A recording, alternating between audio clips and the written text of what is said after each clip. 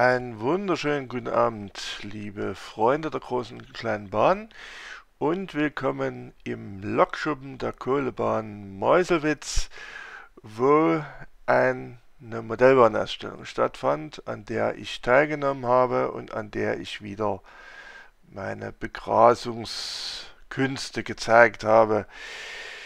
Ja, das sehen wir dann am Ende. Zuerst machen wir aber mal einen kleinen Rundgang durch die Ausstellung.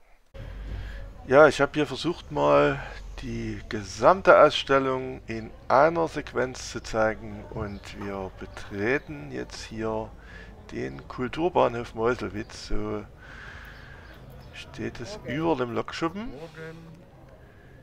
Gehen hier an der Kasse vorbei. Da steht großen Preis da, aber trotzdem guckt man erstmal auf diese Dame hier.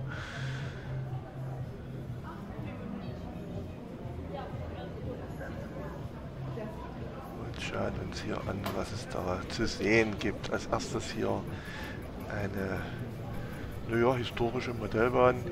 Äh, man möge mir verzeihen, wenn man jetzt hier das Video guckt. Ich habe mir es nicht aufgeschrieben, wer, wer, hier was darstellt und wer hier was nachbaut.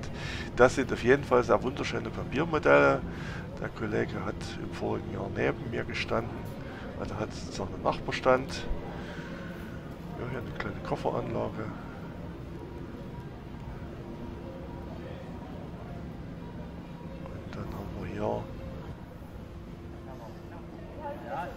Ebenfalls Papiermodelle, auch eine kleine Anlage in Kreisform und jemand, der zumindest den Facebook-Modellbahnern ein bisschen bekannt sein sollte.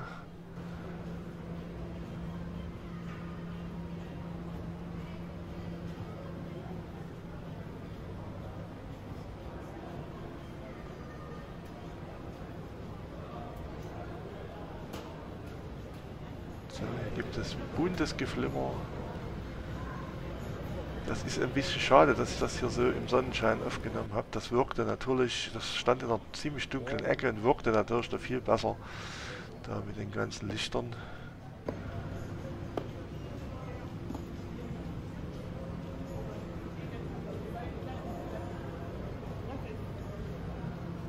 Eieiei, entgegen der Laufrichtung.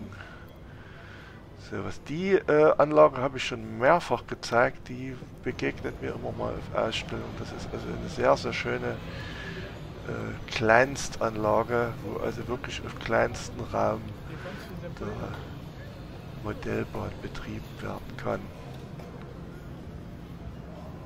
Ja, die Kollegen haben immer mal auch ein bisschen was mitgebracht, was sie da loswerden wollen. Hier haben wir wunderschöne Dioramen auch teilweise mit Funktionen eingebaut.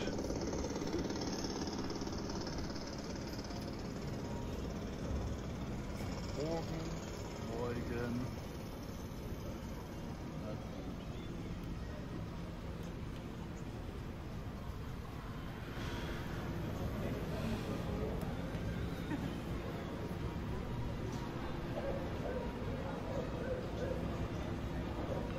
Ja, hier hat so ein, irgend so ein Typ, äh, so ein Stand, der nennt sich Preußentalbahn, wer auch immer das sein mag.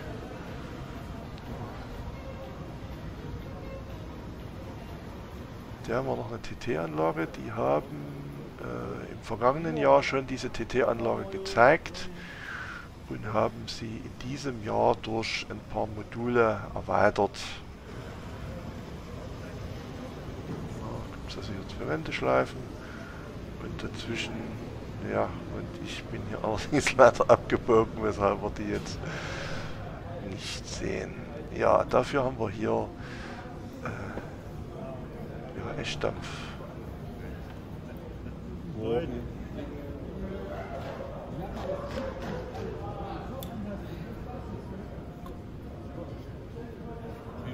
Paparazzi. Immer diese Paparazzis. Schlimm, schlimm, schlimm. Alles gut.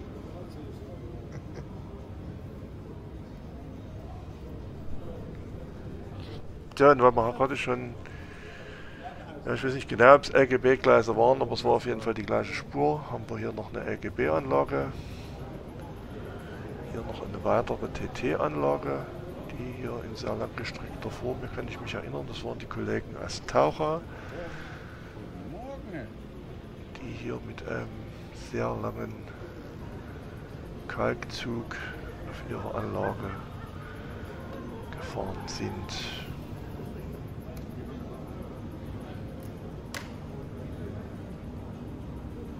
Hier noch eine weitere TT-Anlage. Ja, dann haben wir hier die Spur 1. Ich bewundere dann immer bei den Spur 1 Leuten, äh, dass das Verhältnis zwischen, zwischen äh, den Gleisprofilen und den Schwellen, das ist ja in den kleineren Spuren immer so ein bisschen, naja,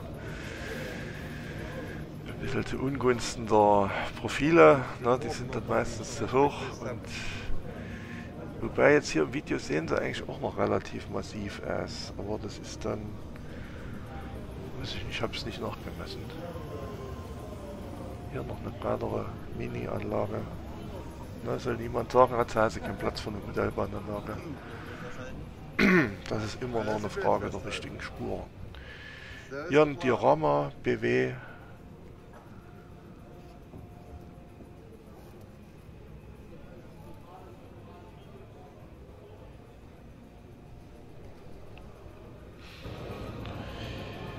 Ja, hier eine weitere TT-Anlage, wo irgendwie so dieses Motiv der Anlage mit den mit den Fahnen hier irgendwie nicht so richtig äh, übereingestimmt hat. Also ich hätte ja eher so ein US-Motiv vermutet, aber ja, mein Gott, ist persönlicher Geschmack.